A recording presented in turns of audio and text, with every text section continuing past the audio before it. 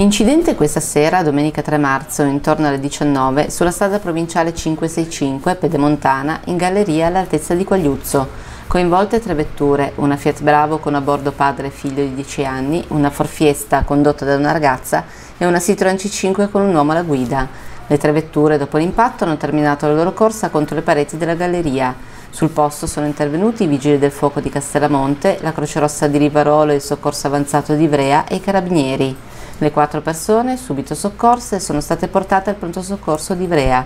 Non sono in pericolo di vita. Accertamenti in corso sulla dinamica. Il tratto è rimasto chiuso al traffico il tempo necessario per permettere le operazioni di soccorso e recupero dei mezzi. Lunghe code si sono formate in entrambe le direzioni.